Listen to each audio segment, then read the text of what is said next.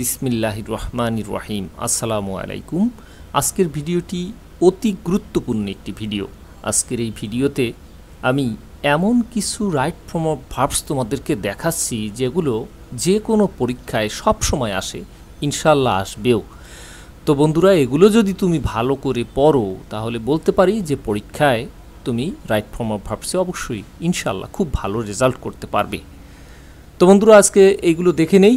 আর একটা কথা হলো, আজকের ভিডিওটি কাদের জন্য গুরুত্বপূর্ণ? তোমরা যারা নবম শ্রেণীতে রয়েছো, দশম শ্রেণীতে রয়েছো, এসএসসি, এইচএসসি পরীক্ষার্থী রয়েছো, বিশ্ববিদ্যালয়ে ভর্তি পরীক্ষা দিবে এবং যে কোনো চাকরি পরীক্ষার্থী সবার জন্যই আজকের এই ভিডিওটি অত্যন্ত গুরুত্বপূর্ণ। আর আজকের এই ভিডিওটি করা হয়েছে আমাদের বই, কলেজিয়েট বেসিক ইংলিশ গ্রামার বইয়ের তিনশো একুশ নম্বর পৃষ্ঠা থেকে। বন্ধুরা তিনশো একুশ নম্বর পৃষ্ঠায় চলে যাও। যাদের কাছে বইটি রয়েছে, অর্থ লিখে রাখতে পারবে। এছাড়া সাজানো গোছানো রূপে সেখানে রয়েছে। তোমার জন্য প্রস্তুতি গ্রহণে অনেক বেশি সুবিধা হবে। দাগিয়ে পড়তে পারবে। এরকম আরও অনেক বিষয়। তো যাই হোক, তাহলে মূল আলোচনায় চলে যাচ্ছি। পাঁচ সেকেন্ডের একটা ইন্ট্রোর পরে। এই হচ্ছে বইটি। প্রথম কমেন্ট থেকে ফোন করে তোমরা অর্ডার করতে পারবে। যে I saw my friend walk in the field আমি আমার বন্ধুকে মাঠে হাঁটতে দেখেছিলাম। বন্ধুরা একটা সিম্পল সেন্টেন্স বা সরল বাক্যে কখনোই দুইটা ভার্ব হইতে পারে না। সেই ক্ষেত্রে আমি দেখলাম যে এই একটা ভার্ব আই স আমি দেখেছিলাম। মাই ফ্রেন্ড আমার বন্ধুকে, তাহলে এই স হচ্ছে ভার্ব এখন আর একটা ভার্ব দেখতে পাচ্ছি আবার ওয়াক যেহেতু রাইট ফর্ম অফ ভার্বস তাই বক্সের সবগুলোই তো ভার্ব ভার্ব দিয়েই বলেছে যে এগুলোকে পরিবর্তন করো।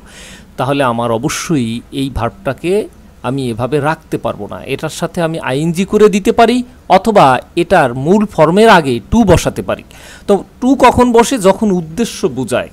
কিন্তু এখানে উদ্দেশ্য বোঝায় না। সে তার বন্ধুকে, আমি আমার বন্ধুকে মাঠে হাঁটতে দেখেছি, এখানে কোনো উদ্দেশ্য নেই। হাঁটতে দেখেছি। সুতরাং এইখানে যেটা হবে, সেটা হলো ওয়াকের কি পরিবর্তন হবে? ওয়াকের সাথে এখানে আইএনজি হয়ে যাবে। তাহলে বন্ধুরা, আমরা সেটা করে ফেলি। ওয়াকিং। দুই নম্বরে, বি নম্বরে আসি। দ্য নিউ কম্পিউটার, নতুন কম্পিউটারটি অ্যারাইভ আসবে নেক্সট উইক অর্থাৎ আগামী সপ্তাহে আসবে, পরের সপ্তাহে আসবে। তো কোনো সেন্টেন্সে যদি নেক্সট থাকে টুমরো থাকে, তাহলে আমরা সেটাকে করব ফিউচার ইনডেফিনিট টেন্স তাহলে দ্য নিউ কম্পিউটার যেহেতু রয়েছে, তা আমরা করব কি, অ্যারাইভের পরিবর্তে উইল অ্যারাইভ ব্যবহার করব। উইল অ্যারাইভ হয়ে গেল। সি নম্বরে আসি। চ্যারিটি মানে বদান্যতা, কেমন? বদান্যতা বিগিন অ্যাট হোম বদান্যতা গৃহ থেকে শুরু হয়, বাড়িতে শুরু হয়। তাহলে বন্ধুরা, এটা তো চিরন্তন সত্য কথা। সুতরাং আমাকে প্রেজেন্ট ইনডেফিনিট টেন্স ভাবতে হবে, যেহেতু এটা একদম নিত্য সত্য বা চলমান সত্য চিরন্তন সত্য কথা। সুতরাং এই ওয়ার্ডটার অর্থ যদি তুমি বুঝতে নাও পারো, তারপরেও একটা বিষয় রয়েছে, সেটা হলো টিওয়াই আছে, দেখো। কোনো ওয়ার্ডের শেষে যদি T Y C E M E N T N E double S H double D এগুলো থাকে, তাহলে সে ওয়ার্ডটা নিশ্চিত নাউন সামান্য ব্যতিক্রম ছাড়া সেই ব্যতিক্রম এখানে কোনো কাজে লাগবে না, সুতরাং এটা নাউন যেহেতু নাউন সকল, এই ধরনের সব নাউনগুলাই হচ্ছে সিঙ্গুলার অতএব আমি এখানে এই বিগিনের সাথে একটা এস যুক্ত করে দেব। তাহলে হয়ে যাবে বিগিনস তাহলে চ্যারিটি বিগিনস অ্যাট হোম হয়ে গেল। দুই নম্বরে আসি। You had better to speak the truth আপনার সত্য বলা বরং ভালো ছিল। আপনার সত্য বলা বরং ভালো ছিল। এরকম অর্থ দেয়, বরং ভালো ছিল। আচ্ছা তাহলে এই রকম ওয়ার্ড যদি থাকে had better had rather would better would rather must need dare এই শব্দগুলো থাকলেই ভার্বের যে মূল ফর্ম সেটা হবে। তাহলে আমি এখানে স্পিকের মূল ফর্ম স্পিক সেটাই ব্যবহার করে দেই, হয়ে যাবে। ডি নম, ই নম্বরে আসি। ই নম্বরে রয়েছে যে খুবই গুরুত্বপূর্ণ খুবই গুরুত্বপূর্ণ। What you read this moment at this moment আচ্ছা কোনো ওয়া সেন্টেন্সে যদি at this moment now at present এগুলো থাকে, তাহলে সেটা কিন্তু অবশ্যই প্রেজেন্ট কন্টিনিউয়াস টেন্সে করতে হয়। তাহলে এখন তোমরা যদি কন্টিনিউয়াস টেন্সে করে ফেলো, তাহলে বলবে যে আমি এখানে ব্যবহার করব যে হোয়াট ইউ আর রিডিং কিন্তু হয় নাই। কেন হয় নাই? কারণ এটা কোশ্চেন প্রশ্নবোধক একটি বাক্য। প্রশ্নবোধক বাক্য যেহেতু, তাহলে কখনোই সেটা হবে না। ইউ কখনো প্রথমে হবে না। প্রথমে হবে আর তারপর ইউ তারপর রিডিং বন্ধুরা, এই ভুলটা কিন্তু তোমরা সচরাচর করেই থাকবে। কেমন? তাহলে আমি দেখো, হোয়াট আর ইউ রিডিং? তাহলে এখানে একটু গুছিয়ে যখন লিখবে, তখন এই ইউটাকে বাদ দেবে। What are you reading? তার মানে এই ইউটা চলে যাবে এইখানে, তার আগে অক্সুলারি ভাবটা চলে আসবে, কারণ এটা কোশ্চেন, প্রশ্নবোধক বাক্য। আশা করি বন্ধুরা, তোমরা বুঝতে পেরেছ। এফ নম্বরে চলে আসি। It is many years since অনেক বছর হয়ে গেছে। ইট ইজ মেনি ইয়ার্স এটা অনেক বছর সিন্স যখন থেকে আই সি ইউ লাস্ট যখন আমি তোমাকে সর্বশেষ দেখেছিলাম। তাহলে এখানে এই লাস্ট শব্দটা রয়েছে, এরকম কোনো ওয়া সেন্টেন্সে যদি লাস্ট ওয়ান্স এগো আর্লিয়ার এগুলো থাকে, তাহলে সেটা কিন্তু অবশ্যই ভার্বের পাস্ট ফর্ম করতে হয়। সুতরাং আমাকে এটা ভার্বের পাস্ট ফর্ম করতে হবে। তাহলে সি এর পাস্ট ফর্ম হলো স, হয়ে গেল। জি নম্বরে আসি। খুবই গুরুত্বপূর্ণ জি নম্বর। এখানে রয়েছে, হ্যাড আই বিন আর রিসম্যান যদি আমি একজন ধনী মানুষ হতাম, আই হেল্প দ্য পুয়োর, আমি তাহলে দরিদ্রদেরকে সহায়তা করে থাকতাম। এই যে হতাম, করে থাকতাম, সবগুলো শেষে ম আছে দেখো বাংলায়। সোজা কথা, হ্যাড দিয়ে যদি সেন্টেন্স শুরু হয় এবং তারপরে সাবজেক্ট এবং ভার্বের পাস পার্টিসিপাল ফর্ম হয় তাহলে অবশ্যই would have could have might have বসবে পরের অংশে। বন্ধুরা, এই যে সেন্টেন্সটা এটা সব সময় পরীক্ষায় আসে, সব পরীক্ষায় আসে। একেবারে কমন একটা সেন্টেন্স তাহলে আমি এখানে কি হবে? আমি উড হ্যাভ হেল্পড যার অর্থ হচ্ছে সাহায্য। আমি যদি ধনী হতাম, তাহলে আমি সাহায্য করে থাকতাম। তার মানে কোনোটাই কিন্তু বাস্তবে হয়নি। আনরিয়াল পাস্ট বলে। আই ক্যান নট হেল্প বন্ধুরা can not help could not help এরপরে সোজা কথা ভার্বের সাথে আইনজি যুক্ত হবে এবং অর্থটা কি দাঁড়ায়? আই ক্যান নট হেল্প লাফিং আমি না হেসে পারি না। I can not help going আমি না গিয়ে পারি না। I can not help eating আমি না খেয়ে পারি না। এই যে এই ধরনের শব্দ দেয় হচ্ছে যখন ক্যান নট হেল্প থাকে। আর ক্যান নট হেল্পের পরে অবশ্যই ভার্বটির সাথে আইনজি যুক্ত হয়। He as well as his friend সে এবং তার বন্ধুরা। সে তার বন্ধুরা এবং তার বন্ধুরা বি সেলফিশ। বন্ধুরা, মনে রাখবা যে অ্যাজ ওয়েল অ্যাজ এবং এই অ্যাজ ওয়েল অ্যাজ এরকম যদি থাকে, তাহলে অ্যাজ ওয়েল অ্যাজের পরের অংশ কখনোই কিন্তু সাবজেক্ট নয়। সাবজেক্ট হলো অ্যাজ ওয়েল অ্যাজের আগের অংশ। তো অ্যাজ ওয়েল অ্যাজ না থেকে থাকতে পারে অ্যালং উইথ টুগেদার উইথ এটাও থাকতে পারে। তো এই কয়েকটাই থাকে। অ্যাজ ওয়েল অ্যাজ থাকে অ্যালং উইথ অথবা টুগেদার উইথ থাকে। তো মনে রাখবা তার আগের অংশ সাবজেক্ট তাহলে আগের অংশ হি হচ্ছে সাবজেক্ট এখানে কিন্তু খুবই বিভ্রান্তিকর তোমরা এই ফ্রেন্ডসকে সাবজেক্ট মনে করলে, খুবই বিভ্রান্তিকর।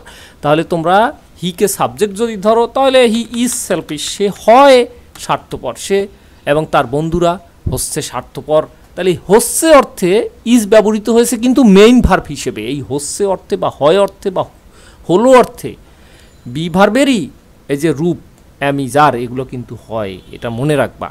এটাকে টেন্স হিসেবে বিবেচনা করলে এটা প্রেজেন্ট ইনডেফিনিট টেন্সের মধ্যে পড়ে। You have D do are wrong to him. You have, যেহেতু হ্যাভ রয়েছে, তো মনে রাখবা, হ্যাভ হ্যাজ হ্যাড। এরপরে হ্যাভ হ্যাজ হ্যাট হ্যাভিং, এরপরে।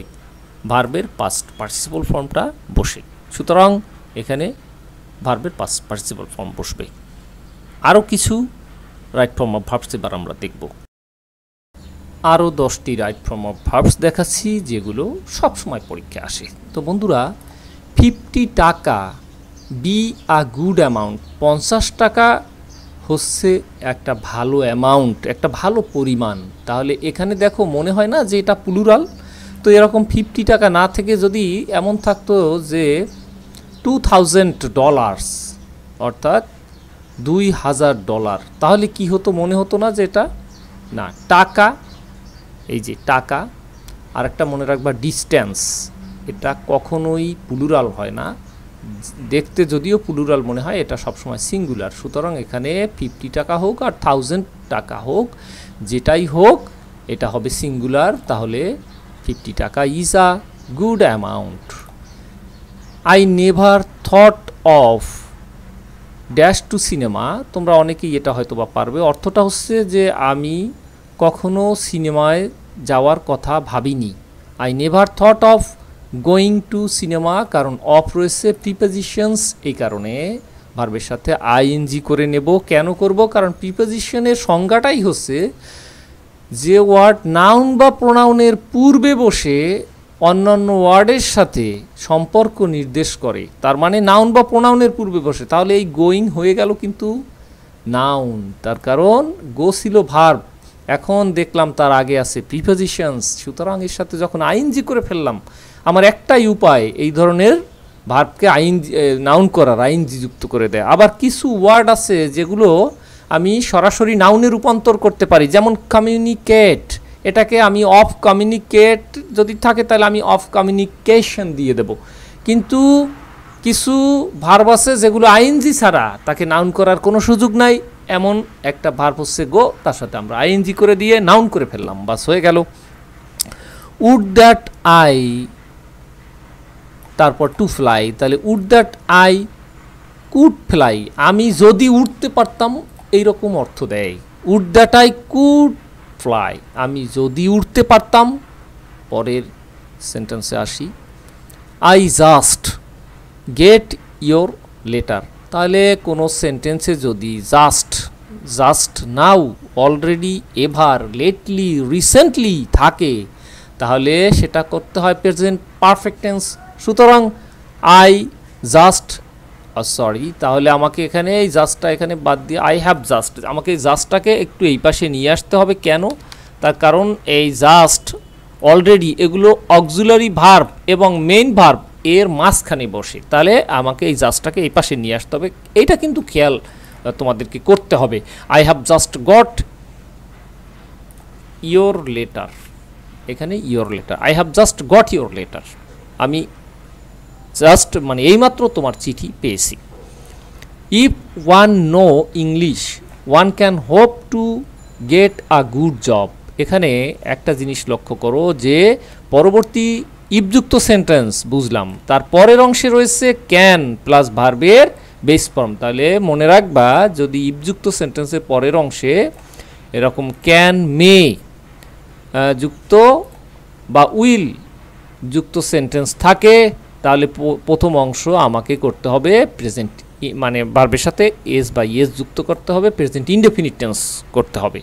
তাহলে আমি বলব যে ইফ ওয়ান নোস ইংলিশ যদি কেউ ইংরেজি জানে সে বা সেই লোক can hope to get good job তাহলে সে ভালো চাকরি পাওয়ার আশা করতে পারে। খুবই গুরুত্বপূর্ণ এফ নম্বরে ডু ইউ মাইন্ড আপনি কি কিছু মনে করবেন? Do you mind mind worth can not help could not help এগুলোর পরে ভার্বের সাথে আইএনজি যুক্ত হয়, খুবই সিরিয়াস একটা রুল তাহলে do you mind selling their car আপনি কি তাদের গাড়ি বিক্রি ডু ইউ মাইন্ড আপনি কি কিছু মনে করবেন? সেলিং দেয়ার কার তাদের গাড়ি বিক্রিতে? ডিড এটা খুবই গুরুত্বপূর্ণ জি নম্বর খুবই গুরুত্বপূর্ণ। ভুল হওয়ার যত সম্ভাবনা আছে, এগুলো নিয়েই কিন্তু আমার এই video did you see Leena shop in the market yesterday তাহলে এখানে দেখো একটা বন্ধুরা, একটা জিনিস যে এখন তাহলে কি হবে? এই যে ডিড আছে ডু ডাস ডিড যদি কোনো সেন্টেন্সে থাকে, তাহলে ভার্বটার মূল ফর্ম রাখতে হয় রাইট ফর্ম অফ ভার্বসে তাহলে আমি সব কি মূল ফর্মে রেখে দেব? না, এটাই তো এখানে ফাঁদ, প্রশ্নের ফাঁদ। না, বন্ধুরা, এই ডিড রয়েছে, সে কারণে তো আমি মূল ফর্মে রেখেছি এই সিকে তাই না? রেখেছি। এখন দেখা যাচ্ছে যে এই নিয়ম আমি ফুলফিল করে ফেলেছি। এখন যেটা নিয়মে পড়েছে, সেটা হলো একটা সিম্পল সেন্টেন্সে দুইটা ভার্ব থাকতে পারে না। এই সি একটা ভার্ব তাহলে এর পরবর্তীতে সব সব যেহেতু ভার্ব তাই আমি এর সাথে আইএনজি না করলে আর হবে না। কারণ একটা সেন্টেন্সে দুইটা ভার্ব থাকতে পারবে না, তাই পরবর্তী ভার্বের সাথে আইএনজি করা হয় অথবা ওই ভার্বের আগে টু বসানো হয়। উদ্দেশ্য অর্থে এখানে উদ্দেশ্যর কোনো বিষয় নেই। আরও একটি গুরুত্বপূর্ণ, অত্যন্ত গুরুত্বপূর্ণ এইচ নম্বর, সেটা হলো সেলডম। এই ধরনের সেলডম এবং নেইদার, এই দুইটা শব্দ যদি থাকে, তাহলে এইখানে ভার্বের ব্যবহারটা হয় একটু ভিন্ন রকম। যেমন seldom, I go to the hills মানে কদাচিতই আমি পাহাড়ে যাই। কিন্তু এই ক্ষেত্রে সেলডম থাকলে যেটা করতে হয় সেটা হলো এই যেখানে যে ভার্বটা থাকে তার আগে একটা ডু আনতে হয় অথবা ডাজ আনতে হয়। যেহেতু আমার এখানে সাবজেক্ট আই তাই আমি ডু আনব। কেমন? তাহলে আমি কি আনব? ডু আনব। আর এই আই চলে যাবে ভিতরে। তো প্রথমে ডু আই গো যদি এই আই না থেকে হি থাকতো তাহলে ডাজ আই গো এটা হতো। এটা কোন কোন ক্ষেত্রে? সেলডম এবং নেইদার। এই দুইটা মনে রাখবা। এরপরে আমরা চলে আসি আই এবং যে নম্বরে এবং এরই মাধ্যমে ভিডিওটি শেষ হবে। সি ইউজুয়ালি, যেহেতু ইউজুয়ালি রয়েছে রেগুলারলি অফেন অলওয়েজ এগুলো থাকলে হবে কি? প্রেজেন্ট ইনডেফিনিট টেন্স অর্থাৎ ভার্বের সাথে এস বাই এস যুক্ত হবে। তো she usually goes to school by bus সে সচরাচর বাসে করে স্কুলে যায়। ওয়ান শুট আর এই টেক কেয়ারই থাকবে, কারণ হচ্ছে শুট রয়েছে modal auxiliary verb can could may might shall should will would এরপরে ভার্বের বেস ফর্ম বসে, তাই। বন্ধুরা, আমাদের বই এত সুন্দরভাবে ব্যাখ্যা বিশ্লেষণ করা কলেজিয়েট বেসিক ইংলিশ গ্রামার ষষ্ঠ থেকে অনার্স পর্যন্ত সবার কাজে লাগবে। বিশেষ করে যারা নবম, দশম শ্রেণীতে রয়েছে, এইচএসসি পরীক্ষার্থী রয়েছে, তোমাদের যে গ্রামাটিক্যাল আইটেমসগুলো রয়েছে, সেগুলোকে সুন্দরভাবে ব্যাখ্যা বিশ্লেষণ আকারে এই বই উপস্থাপন করা হয়েছে। এত সুন্দর টেকনিক দেওয়া হয়েছে অনেক বিষয়ের, যেগুলো আসলে ইংরেজি যারা গবেষণা করতে চাও, যারা ইংরেজি ভালোবাসো, ইংরেজি শিখতে চাও, মনে প্রাণে তাদের জন্য অত্যন্ত গুরুত্বপূর্ণ বই। রাইটিংয়ের বই রয়েছে, রাইটিং শেখার বই। এছাড়া শুধুমাত্র দশম শ্রেণি যারা এসএসসি পরীক্ষার্থী রয়েছে, তাদের আবার একটা বই রয়েছে, শুধুমাত্র বিগত বছরের বোর্ড প্রশ্নের ব্যাখ্যাভিত্তিক বিশ্লেষণমূলক বই, এসএসসি ইংলিশ মডেল কোয়েশনস। প্রথম কমেন্টে সব বইয়ের সম্পর্কে তোমরা জানতে পারবে।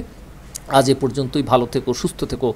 অনেক অনেক শুভকামনা রইল। আল্লাহ হাফেজ। ভিডিওটি অবশ্যই তোমরা লাইক করবে, কমেন্ট করবে, চ্যানেলটি সাবস্ক্রাইব করবে।